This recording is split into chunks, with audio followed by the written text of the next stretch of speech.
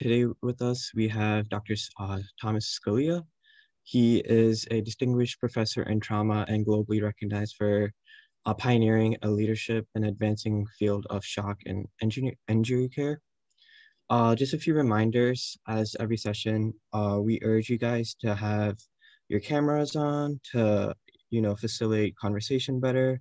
And also just um, to know that the uh, session will be recorded.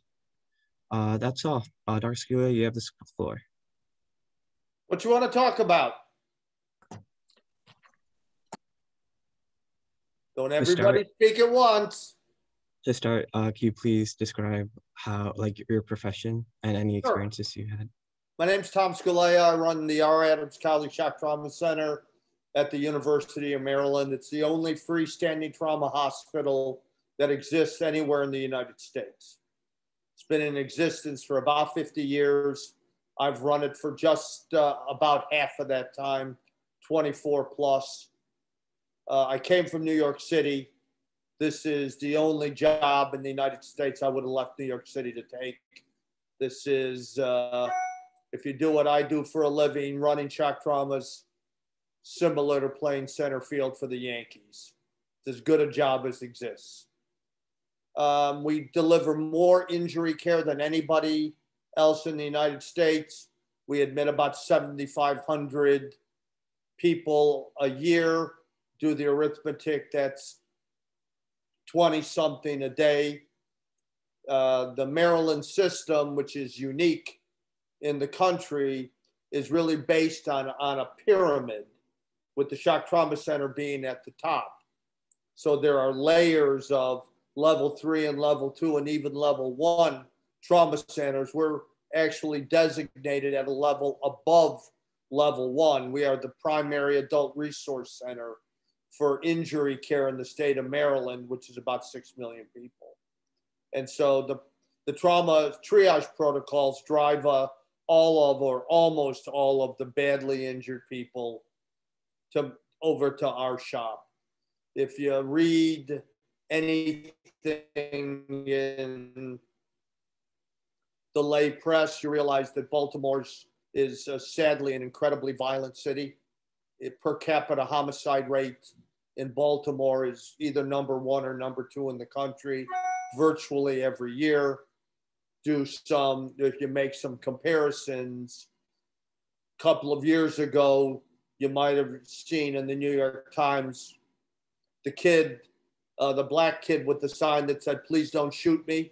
He was from Chicago, and they were talking about the, the incredible epidemic of homicides in Chicago. It was 800 homicides on a population base of 2.5 million people.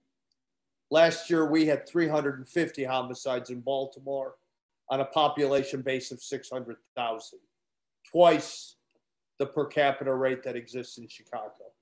And so we stay very, very busy taking care of people that are victims of gun violence and other types of interpersonal violence. We see a huge volume of what we call blunt trauma, vehicular crashes, people hit by cars. It's really busy. And so, um, you know, one of the beauties, I think, about doing this as a living is you never know what's going to happen, right? It's quiet, it's quiet, it's quiet, and then the, the sky opens up and it rains uh, badly injured people. And, you know, then we go to work. And so, yeah, I love not knowing what's going to happen. I love always having to be ready. I love having to bring our A game every day. There's no such thing as a night off. There's no such thing as it can't happen because not only can it happen, it's probably going to happen. And um, we take care of we take care of everything. We take care of kids. We take care of adults. We take care of older people. We take care of everything. Would you say that you are limited to where you can work because, um, like, you have to work somewhere where there's a lot of crime? No, not really. I mean, um, the specialty is called acute care surgery. So we, our group takes care of all types of surgical emergencies. I like doing trauma, so I do that more than anything. But the other guys in the group, and our group is uh, 25 men and women. We take care of, cover the emergency department for all surgical emergencies. We take care of trauma patients. We work in the intensive care unit. So everybody wants, everybody's looking for one of us. Everybody wants somebody that's going to, you know, take care of that stuff because lots of people don't like doing it. So the fact that there are those of us that A, like it, B, are willing to work the schedules, it's kind of, you know, you don't like working nights, this is a bad thing to do for a living. Because guess what? Half of the times you're at work are nights.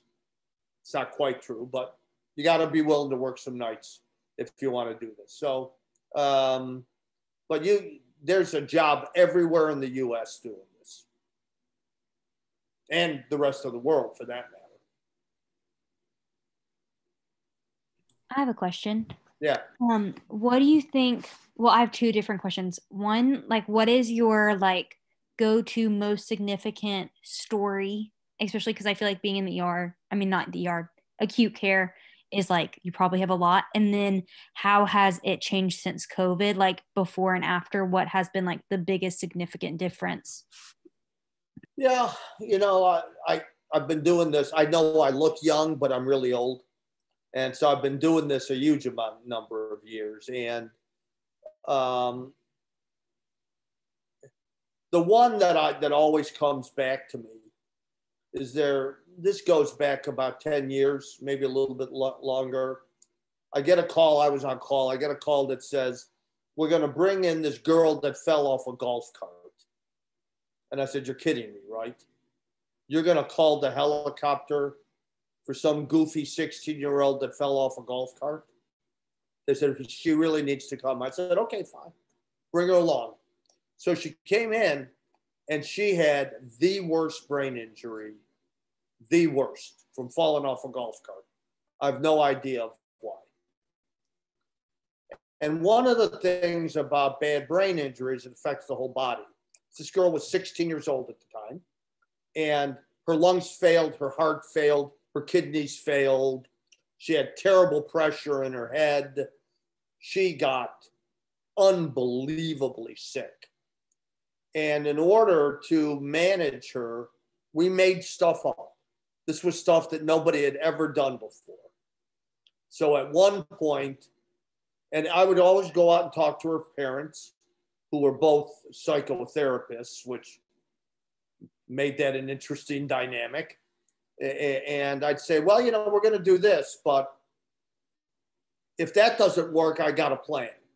And so we would do it and would work for a while and then it would stop working. I'd say, okay, we got another plan. And they'd say, well, what happens if this doesn't work? I'd say, that's okay, I got another plan. And um, in order to manage the pressure in her head, we actually put her on a table and stood her straight up. Not even not lying in a bed. She is now standing straight up on this tilt table so we could drop the pressure in her head and we opened her abdomen in the ICU to release the pressure in her head. And her, the pressure in her head kept getting worse and kept getting worse. And I said, uh, I'm out of ideas. I know what to do. So I literally went down to my office. As a, there's this wonderful lady that I'm not, she doesn't work for me. I think I work for her. And I said, Stevie, don't bother me. I can't. And I went, I walked in and I closed the door and I said, I'm not walking out of here until I fix this, until I figure out what we're going to do. And um, it took me about four or five hours. And then I said, I got it. And I went upstairs. And one of the reasons the pressure in her head was so high is her lungs were so filled full of fluid that the pressure in her chest was high, and that raised the pressure in her head. Took me five hours to figure that out, but I finally, I finally got it. And we, I stood on a ladder. This is the honest to God truth. and to put a line in her the, the big blood vessel in her neck and we put her on cardiopulmonary bypass in the ICU and turn the ventilator. Now we could use the bypass circuit to get, you know, to do the work of the lungs, kind of like dialysis for the lungs. Nobody had ever done that before. And it worked. She ultimately recovered. She woke up. She went, she turned down Yale to go to Vanderbilt for college ultimately became a nurse practitioner. I still see her. She just delivered her first child. I talk to her and her parents at least uh, two or three times a year. Pretty cool. And it's one of those things where why is this such a cool thing to do? Because we don't, you know, we solve all of our own problems. I operate in the neck, I operate in the chest, I operate in the abdomen, I do vascular surgery, I do everything. And um, I love being able to solve every problem. We call for help sometimes, but not that often. And so the ability to be able to solve problems everywhere in the body, I think, is in, incredibly uh, powerful. I love doing that. And um, it's one of the best things about the job. Now, COVID, COVID, uh, here's a big surprise. COVID's not been that much fun. And uh, yeah, it, it changed. First, the violence got worse. I didn't think that was possible, but it did. We had a very small decrease in the volume, and then it came back in spades in everything and of course, you know, it's if you work in a place that only takes care of COVID, you know they have COVID, right? Do you work in a COVID ICU? Everybody there already has COVID. So you know that. So everybody wears the space suits and everybody, when they come to us, nobody knows if we don't know if they have COVID or not. So we have to assume that they do. Well, I got to tell you, wearing all of that PPE and the double masks and the gloves and all of that makes it a lot harder to do the job.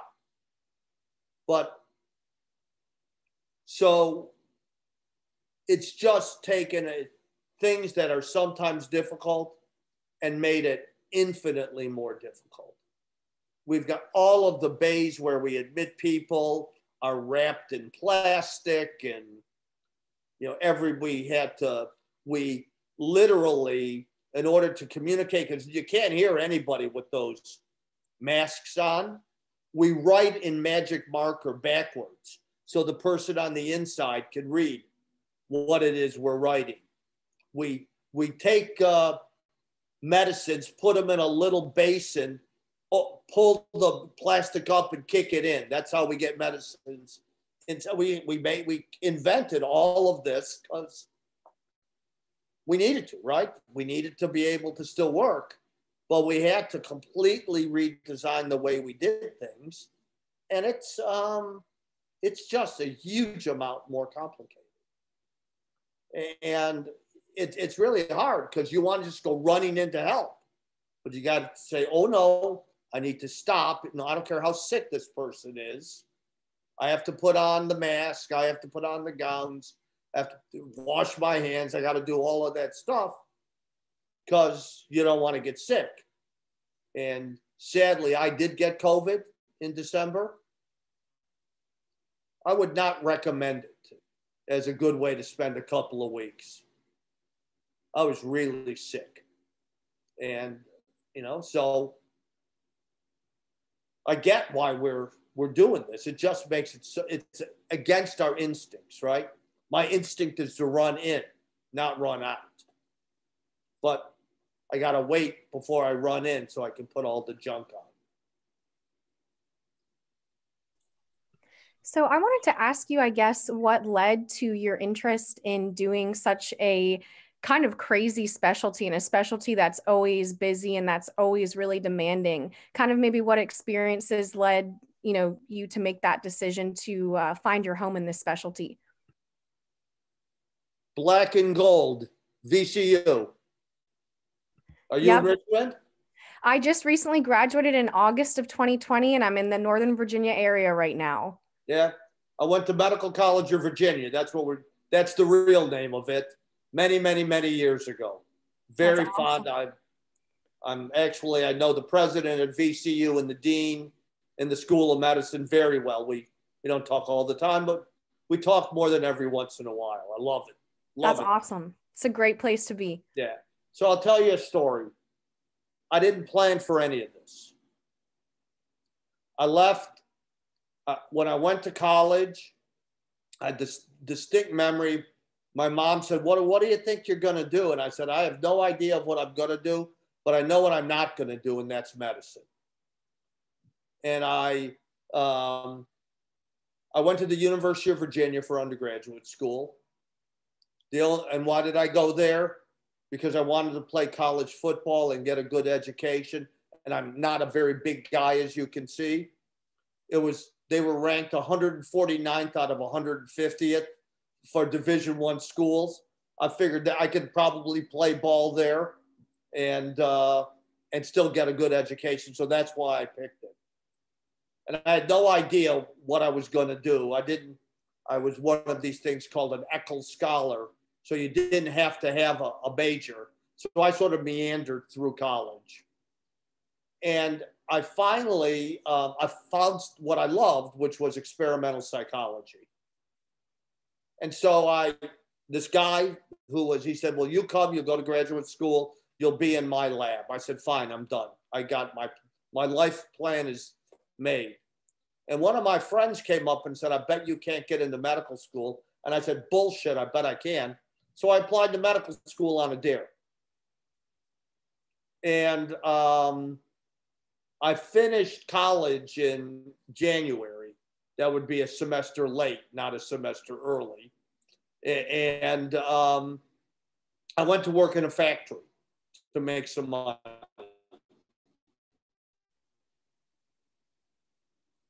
About May, I got rejected from graduate school.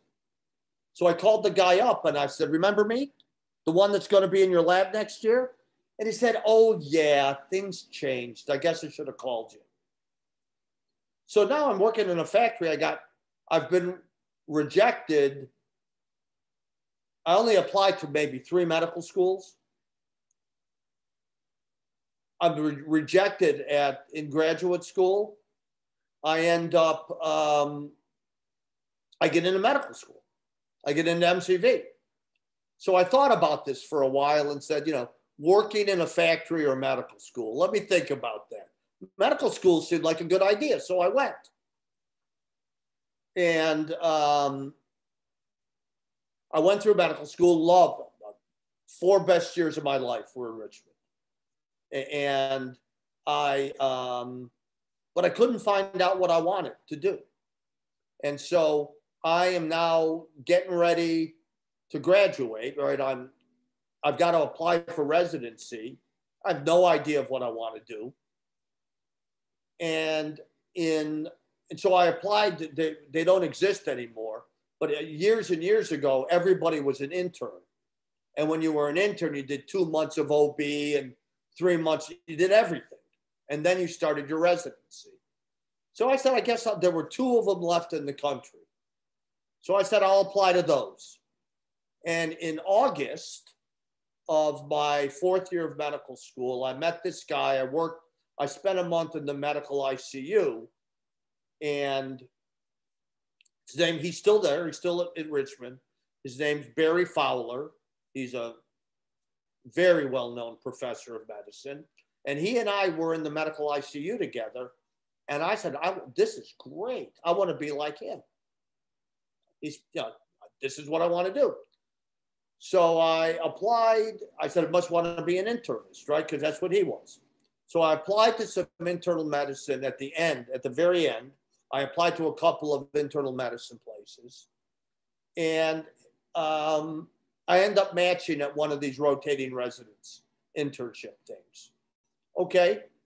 So I go there and I say, I really want to turn this into a medicine residency. And they say, fine. They try to make me into a primary care doctor. And I hated it. So now I'm, I've only got a one year gig, right? I don't have a residency. I just got the internship. I picked surgery because it was the only thing that was left after all of the, I said, well, I don't want to do medicine, I guess. And I don't like OB. And I, so I said, surgery, I guess that's what I'm going to do. So I applied and I got a job. In the first month of surgery, I did transplant and I met this guy named Richard Burleson. I said, I want to be like him.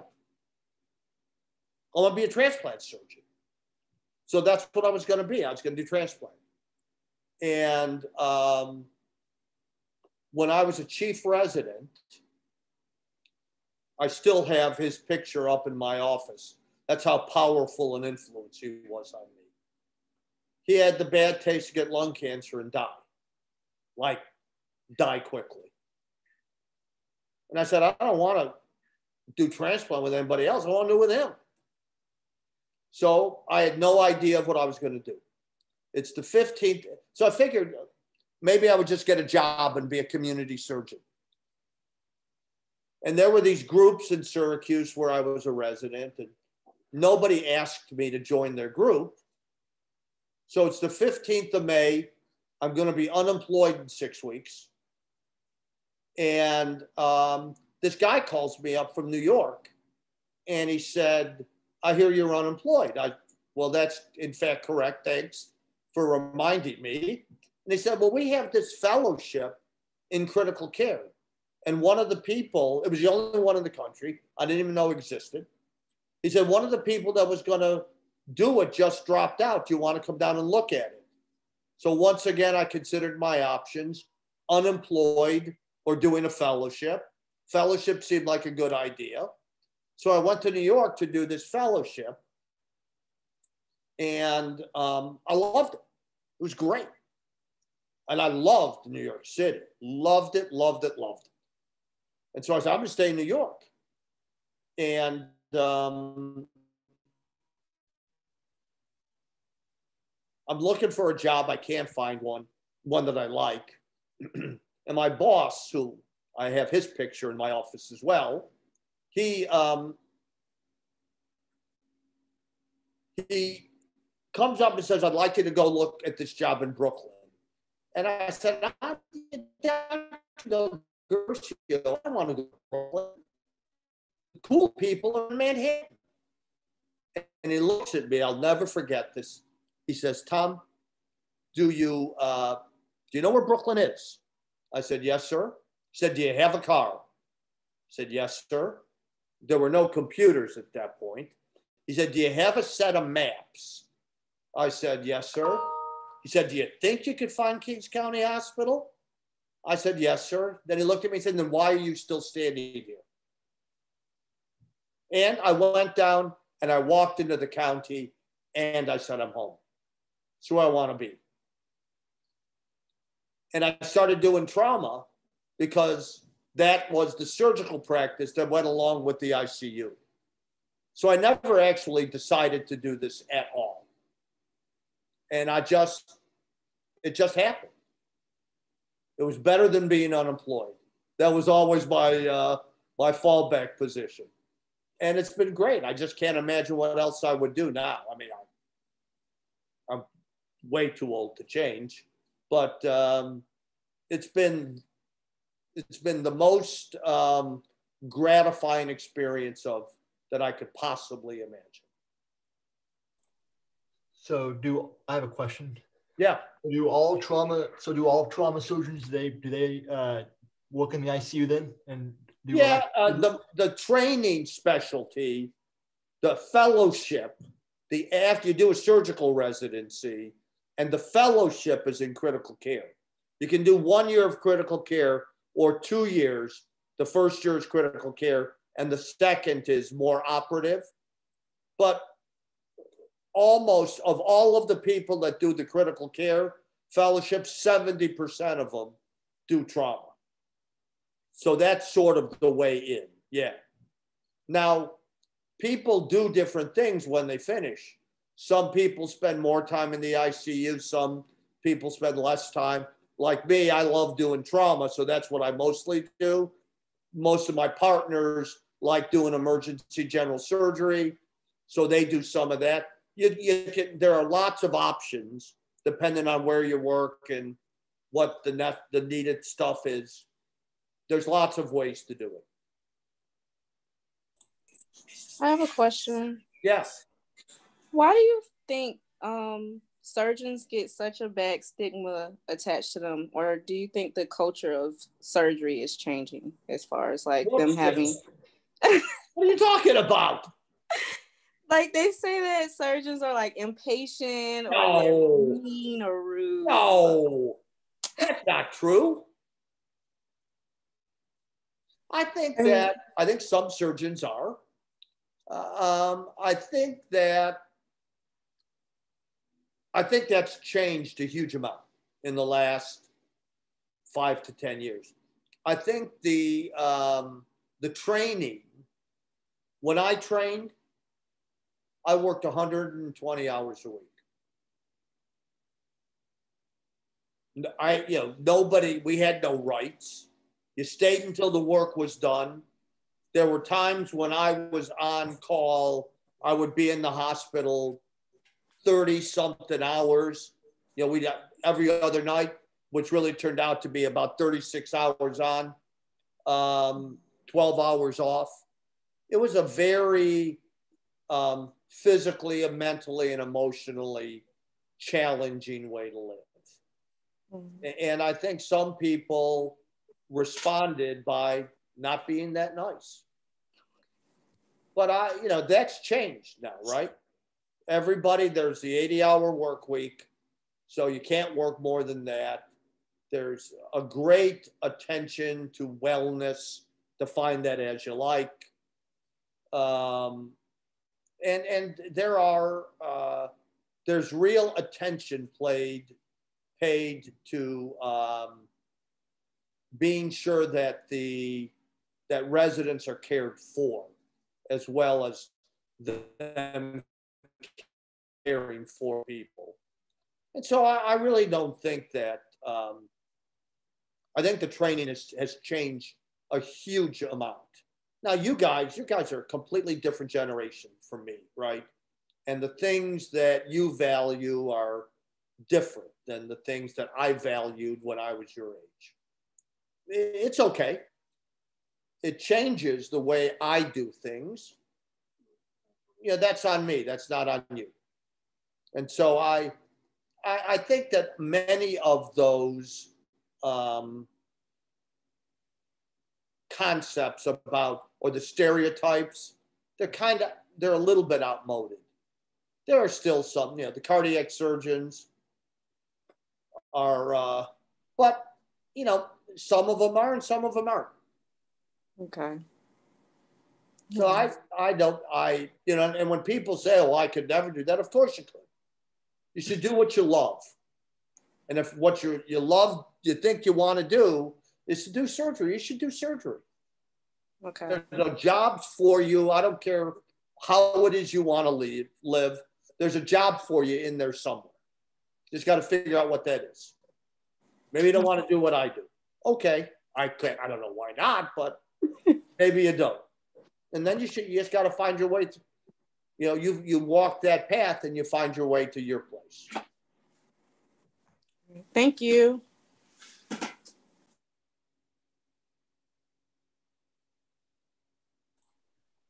So how Um, you? I have a question. Oh, Yeah. sorry. Who's got a question? Somebody just said Um, they did. I, I have a question. Yeah. Have you ever had a surgery that you felt you couldn't accomplish or finish? No. I, I, I say that so definitively, but the answer is no.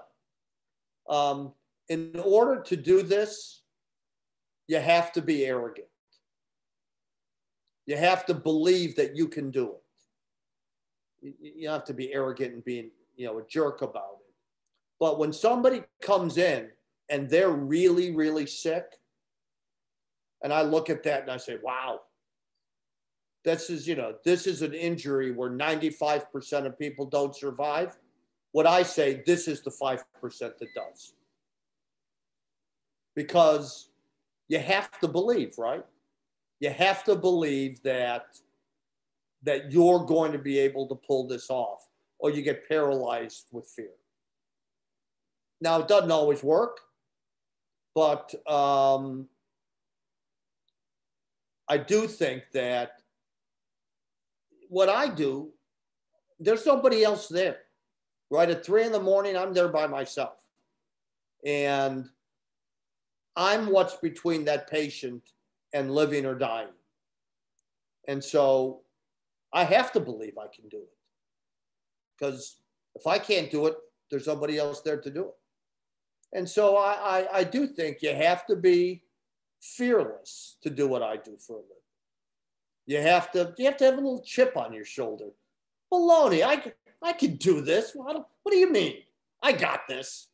Because if you don't, then you get in there go, oh my God, this is terrible. It, you don't have the luxury of, of saying that. The patient deserves you saying, I can do this. You got to have it. You got to be able to do that.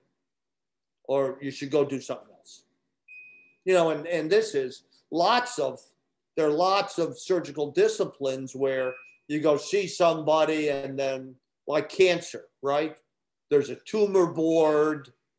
Everybody sits around. They say, This is what we think. It's a great way to take care of cancer. And if you had it, that's what you would want. I don't have a tumor board. I got me. There's nobody there to say, you know, if I were you, I would. It's me. And I can call for help if I need it, but at this point in my life, the number of times I don't know, I might have trouble getting it done, but I pretty much always know what we need to do. Almost always.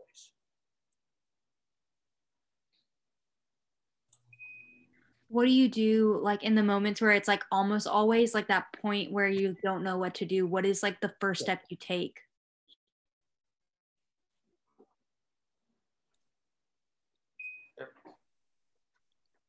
i'm sorry what you said you said like there like almost always i know what to do but like in moments where you don't know what to do what is like the first step you take?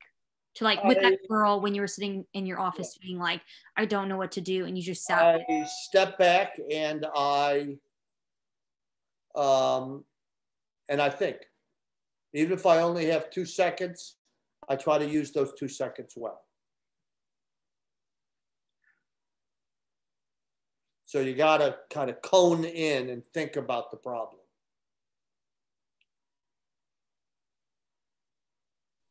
Um, you got to really sort of focus. I actually had um, a question about your work-life balance uh, and you know whether you ever struggled with that as a surgeon and how you really balance that that sort of dynamic. Yeah, I'm a bad person to ask that about. I, I don't, as one of my uh, my chief of trauma said when she was uh, describing me, it's hard to have work life balance if you don't have a life. And I work. That's what I do. That doesn't mean you have to do that, um, but it's what I do. So I still work 100 hours a week. Um, I love it. I immerse myself in it it's it's who I am. It's what I do. But almost nobody else does that. So if you want to know about that, you're going to have to ask somebody else. Got it. Thank you. I have a question. Yeah.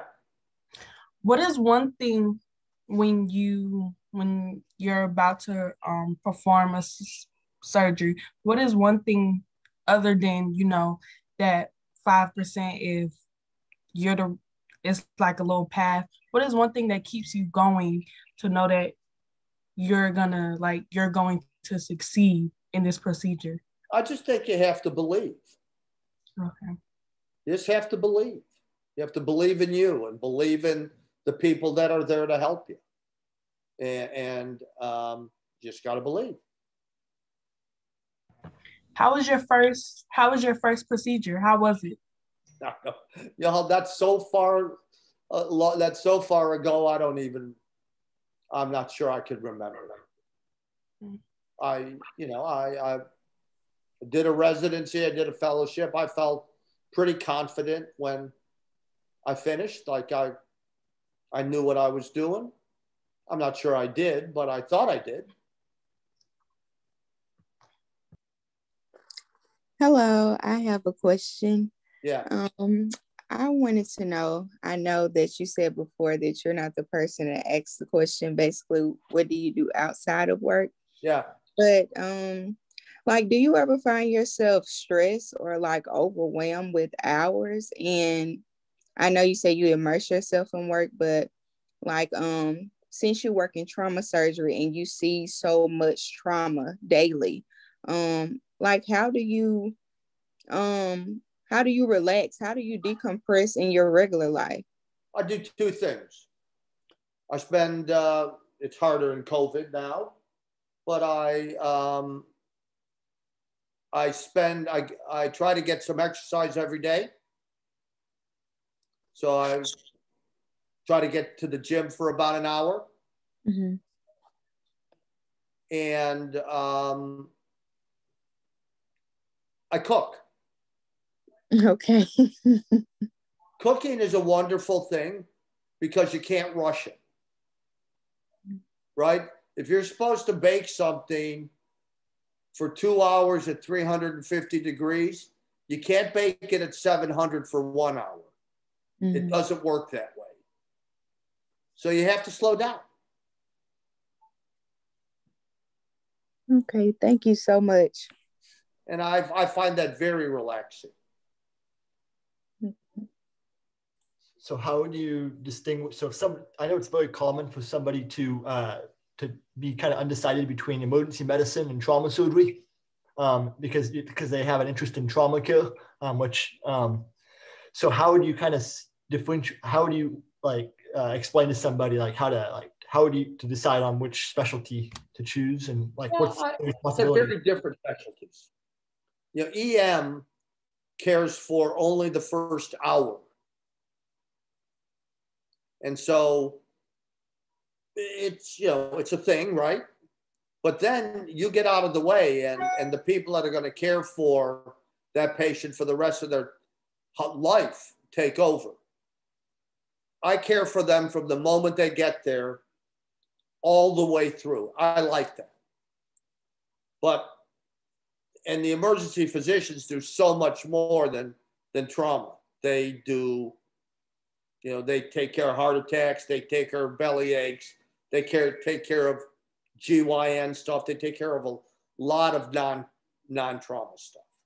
Matter of fact, the tra- their trauma practice is really a very small percentage of what they do.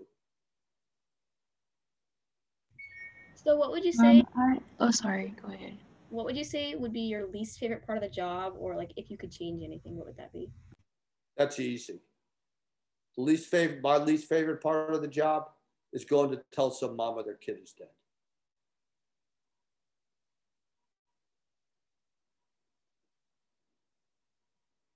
it's part of the job yeah that's that's pretty heavy it's the worst it's the worst part of the job and everything else you would say is is enjoyable and fulfilling? I, yeah, I, I like it. I mean, you know, listen, sometimes do I get frustrated? Of course I get frustrated. Do people piss me off? Of course, people, you know, don't act the way I want them to act or something. But on balance, I have a great job. And I, um, you know, the patients, I, I think what, if you're a doctor, almost any kind of doctor, you're having a good day. The patients are having a bad day. So why you would complain? I don't get it.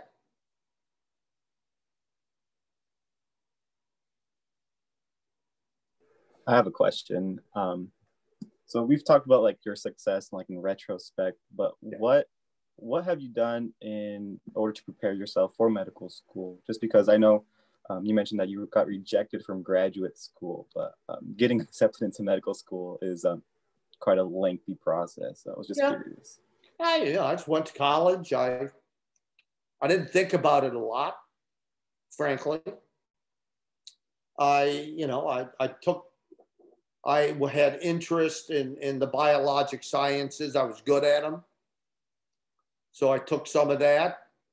Uh, I had interest in math. I took a bunch of math. I, I had interest in um, the humanities. I, I took a, a lot of uh, writing and reading courses. It was great. I just did what I felt like doing. All I have a, a follow up question. Oh, yeah, I have a follow up question. So during a pandemic um, right now, how, would you um, say that we should prepare for medical school? Because I'm um, looking to apply this year for 2022 application cycle. yeah, you know, everybody asks, you know, how, how do I maximize my chances of getting in? A- And the answer is you do well, right? You, you can scheme about, you know, doing this shadowing or doing that. All that's okay, but it doesn't replace good grades and good MCAT scores. You do well in school, you do well on the MCATs. You kind of get in. Now, listen, if if you and your twin brother or sister have um, the same application and one of you has extra stuff and the other one doesn't, the one with the extra stuff gets the nod. I got that. But if you have lousy grades and your twin has good grades, it doesn't matter how much shadowing you've done. Doesn't matter about all the extracurricular stuff. Good grades and good MCAT scores are the you know, the prerequisite. Dr. Scalea, there's a question in the chat from Evelyn Hong. Uh, she says, um, how do you cope with the losses when you're not successful with the surgery or when you have to tell someone their loved one didn't survive? Yeah, it's it's uh, it's the worst part. Um, you have to just go say it. You know, um, there's a there's actually a, a science sort of to giving bad news, and the truth is they don't care who you are. They don't care if you're the intern or the professor. What they want, what they need is um, direct conversation that gives them the information. So talking around it and saying, oh, we did this, we did that, they don't care. What they're hoping you're going to say is that everything's okay. And what you have to say is, I'm sorry, we did everything we could, but your son died. And nothing matters other than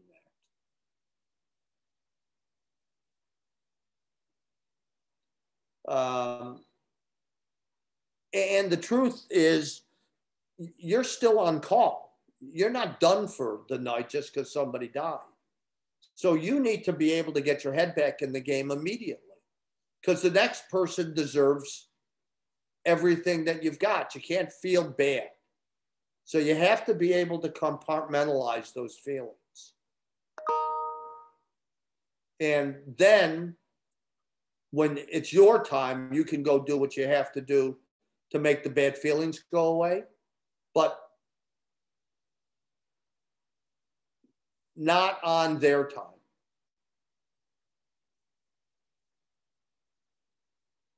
And everybody's got their own way of doing it. So do you take call from uh, from the hospital? Like you have a call room at the shock trauma center? Yeah. It's way too busy. You can't go home. Right. It's there's never there's never it's never slow enough. You think about going home.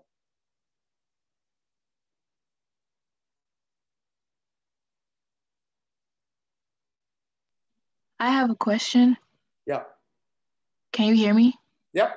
Okay, so what impact would you say that your what impacts would you say that your pre-med years had on you as a doctor right now?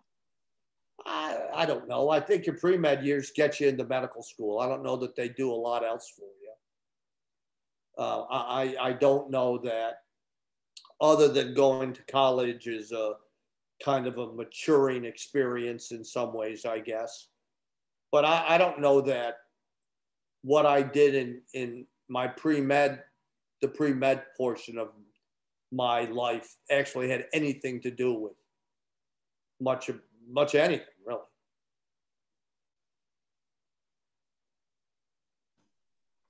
I have a question. Uh huh. So, um, just wanted to know. I know we talked about how how do you deal with losses and stuff, but I'm not not sure because I came in a little late. Like with your family, how does your family cope with everything? Yeah, I, I don't have a family. I, Okay. so uh, I mean, I have a family. I don't have any children. And so um, that just isn't hasn't been part of something I've had to deal with. Okay. Thank you.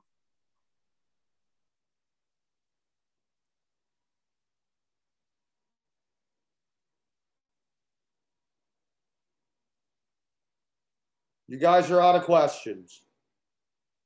We're coming down on an hour anyhow. That's fine. I do have a kind of a question. So yeah, so how do you balance you guys' I um, trauma surgery um, uh, your cases in the trauma center and the uh, ICU um, coverage?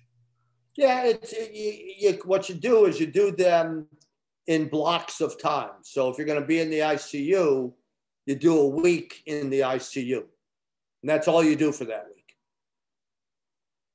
If you're going to do a week of trauma, you do a week of trauma, and that's all you do for that week.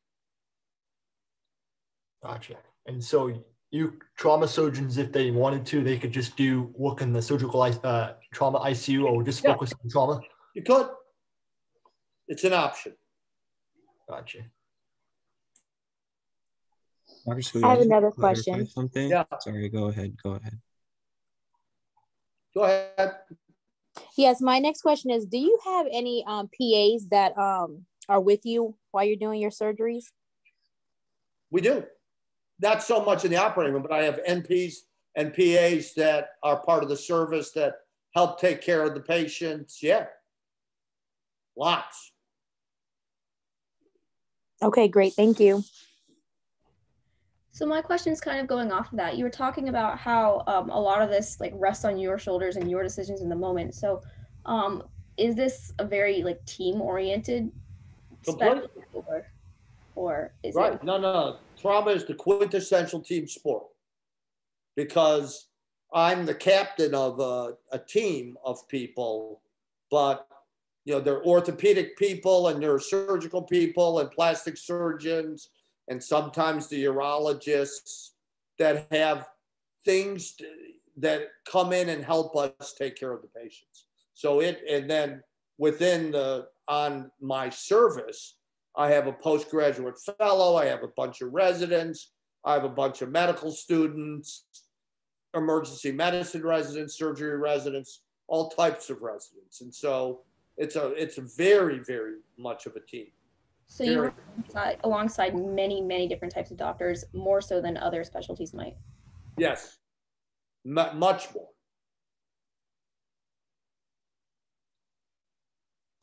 So does the uh, emergency department ED physicians, do they come down to the, um, when there's a trauma, do they, which I guess is consistently traumas? Uh, Yeah, we're set up a little differently. In most places, the emergency medicine people are in the ED, right? And then the patients come in and the trauma people come down to help take care of them.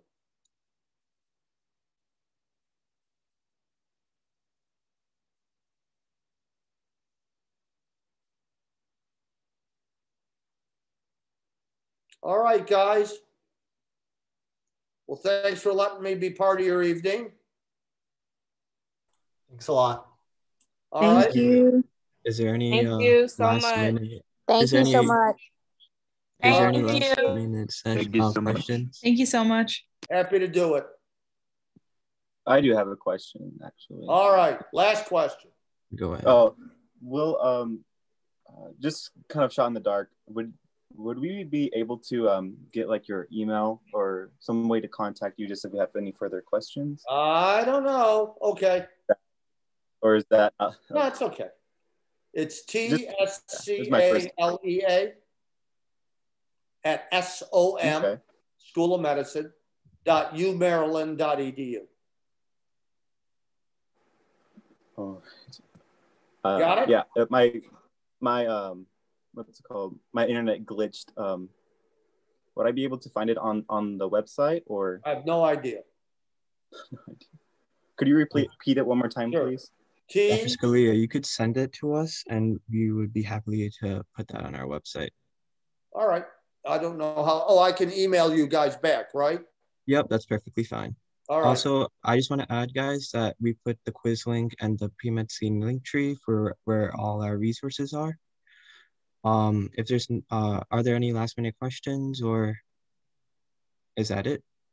Yes. Um, is the quiz like on social media or is it on the website? It's on the website. You have to go to, I put the link in the chat as well, but you can go to the programs tab on our website, I believe, and then it should be in the virtual shadowing. Okay. Yes, the quiz will be opening. you. The quiz will be op- opening shortly. Um, I know it says it's no longer accepting responses. It'll be I opening. just sent the email. Okay. Thank you, Dr. Scalea. All right. Okay. Thank you. Thank you guys for attending and have a good night and stay safe. Good night. Good You night. too. Thank you. Thank night. you so much. Thank you so much. Thank You, you. sir. Bye bye. Great story.